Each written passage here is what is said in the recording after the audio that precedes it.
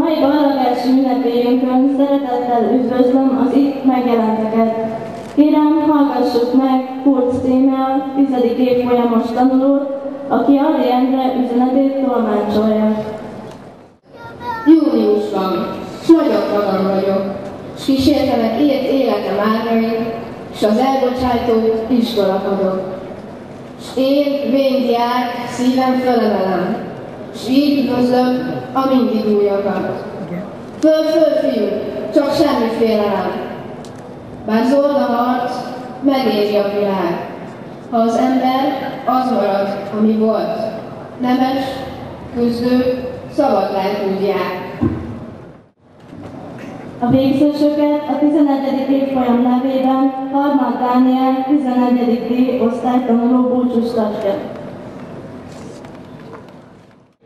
A középiskola egy olyan mérföldkő, ami a legmeghatározóbb életünkben.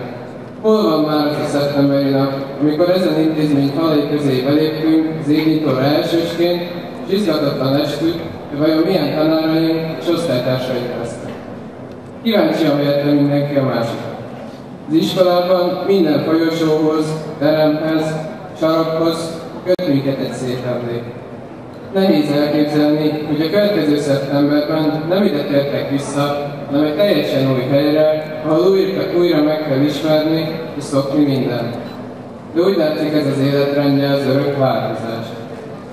Így hát nem búsakodunk, az barátságok nem szakadnak meg. Tudjuk, hogy az osztálytalálkozón újra láthatjuk egymást. De most búcsúzzunk tőletek, mert minden dolog, aminek kezdete van, egyszer véget is ér.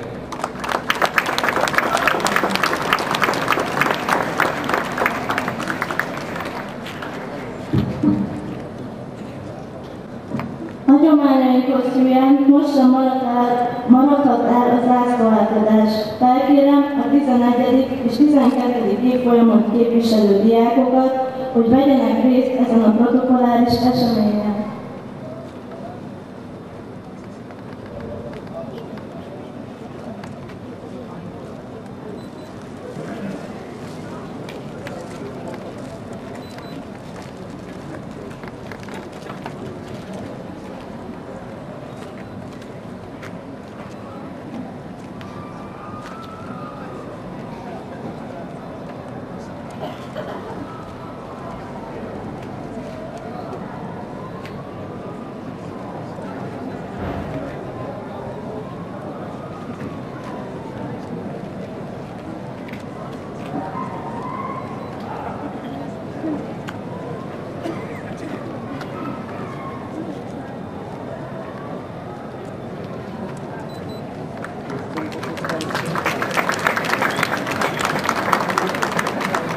Kedves vendégeink, fogadják szeretettel a vészesök nevében beszédet mondó Gregus Ferenc tanulót. Útra valóul pedig fogadjátok szeretettel Adi Endre szavait. Én nem kívánom senkitől, hogy csodás dolgos tegyen, de joggal kívánom mindenkitől, hogy mindig ember legyen.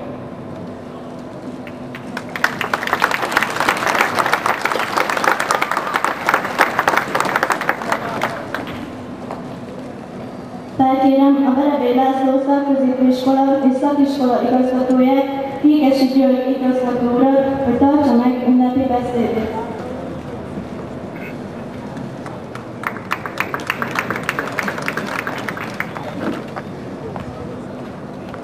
Kedves hallgató diákok, kedves vendégeim, tisztelt kollégáim! A középiskolai élet legszebb ünnepéhez érkeztünk. Számunkra, mint a jó gazda számára, ez a betakarítás ünnepe. Morzsolgatjuk az élet palászt, és a jó leső élmény jár át bennünket, hogy nem volt hiába való az elmúlt évek munkája. A most ballagok életüknek a legfontosabb szakaszát töltötték nálunk. Bőrzéken és a nyitott kapuk programokon először látott gyerekekből nálunk töltött kamaszkor után mára nagykorú felnőtt emberek lettek. Felnőttnek tűnnek már akkor is, ha csak a fizikumukat, a testi adottságaikat nézzük. Biztos, hogy, biztos hogy benne, hogy a sportos külső kialakításába komoly szerepe volt Ecseki és Vincsó tanáruraknak az általuk dedikált fitness program keretében. A mai nappal lezárulnak a középiskolás évek. Köszönjétek meg szüleiteknek sok-sok aggódást, a segítséget, sok esetben a felhőtlen gyerekkor. A mai nappal kezdetét veszi a csupa, nagybetűs felnőtt élet. Elkezdődik egy nagy utazás, amelynek eszköze hajdan a léggömb is lehetett.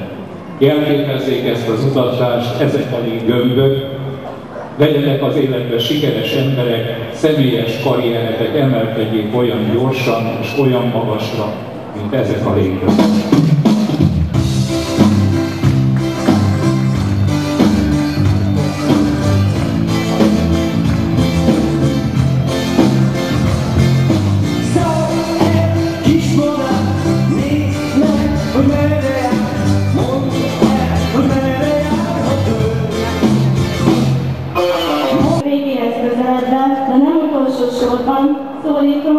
Iskolai szavalóverseny első helyezettjét, Bella Mihály, hogy tolmácsolja erre a rendezvényünkre választott költő Arany János egyik szép versét.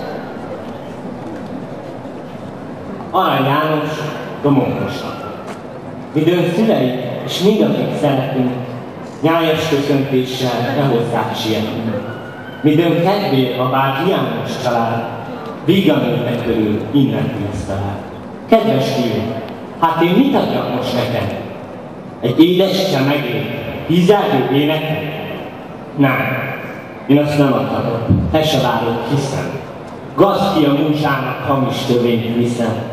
Szégyen alapra, mely költőt érdemáltal meggyaláztatni, és gyalázni nem által, minél édes, annál émeidős csemeget, annál undorító, minél szebb éneket.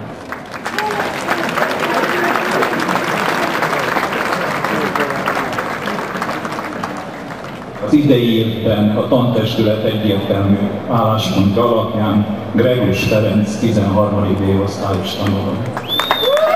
idei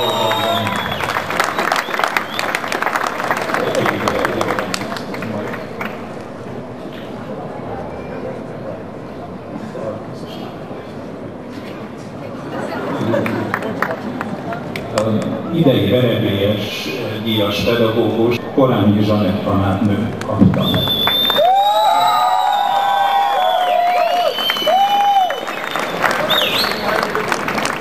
Gratulálunk!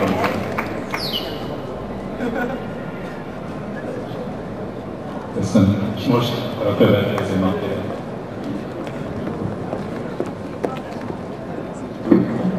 Hallgassuk meg a szózatot!